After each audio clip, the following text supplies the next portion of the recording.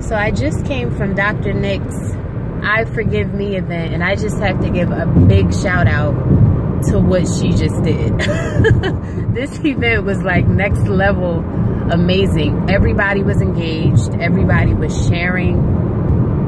And I imagine maybe there were a few people that were still scared to, to share and be vulnerable, but I really feel like for the most part, everybody was just in the room. Like everyone was present. So I just want to say congratulations to Dr. Nick. Um, your heart was in a beautiful place and even deciding to do something like this. And it was obvious that everybody in the room needed it.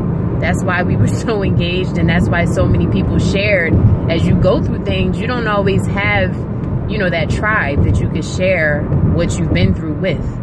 So I feel like today, in a certain sense, maybe some people found their tribe and maybe for others it was just an opportunity to get some things off of their chest that they've not been able to do you know with anyone that they know. So again thank you so much for doing the event. It was awesome and i can't wait.